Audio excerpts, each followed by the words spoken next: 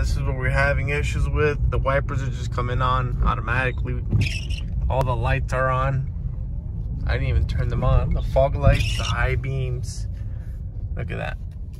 Look at that. The brake light came on. The radio shut off. It was playing, it shut off. It's weird. There you go, see? It's off again. It's rebooting, and then the lights are off. So we got an issue with some electrical. Let's let's dig in and see what we find out.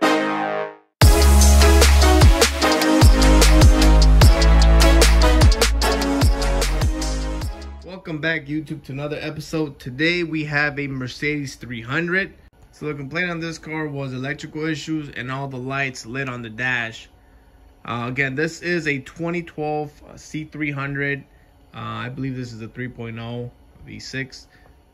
So let's get started and see what we find. And again, I was not gonna make a video on this car, but after I started taking things apart, I was like, you know what, let's let's do a video because this is ridiculous. So again, first thing I did find out was the weather strip for the windshield, it's missing. So that's gotta be our main problem here. It's all missing, so let's check it out. First thing is first, always disconnect your battery. I actually removed the battery because I just want to make sure I check everything, I inspect everything. Also, I did scan the car. I was getting no CAN bus communication. I was getting no central gateway. Uh, I was reading as malfunction. Also, the rear SAM was reading malfunction. It was not connecting. So there was a whole bunch of stuff going on, and uh, I had to go to the interior and start ripping everything in there.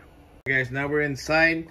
Um, so when I was scanning for modules, I was also looking for more modules. Um, the only two modules I actually came across was the front SAM and the rear SAM on these W204 C300. So I thought there was a separate, you know, central gateway for these cars. So I was not able to locate that. I even called the dealer, asked them for the central gateway. I, you know, I even gave them a part number, and they were not even able to find it for me. So I'm assuming we only have the front fuse box over there and the rear SAM in the back.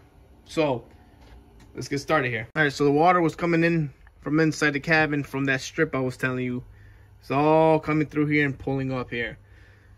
So literally there was a swimming pool over here. Like I grabbed my shop vac, I used it to clean up all the water. I sucked up all the water. I I'm still letting this car dry. And I did find a few issues here on the side. This here, I found I found two actual distribution boxes that were soaking wet. Let me show you right now. Here are the distribution blocks. This one's located by the brown connectors.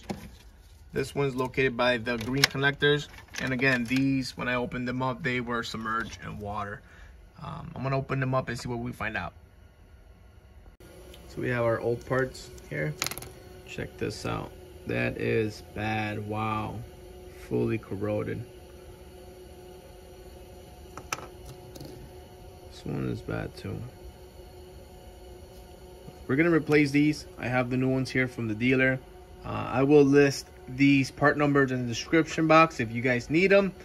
So I'm going to go ahead and assemble the interior. I'm going to let everything dry. I'm going to fast forward and we'll be there in a second.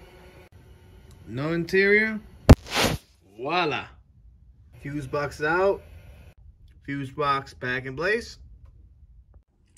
All right, we're inside the car. We're gonna start it. All right, we're doing the road test right now.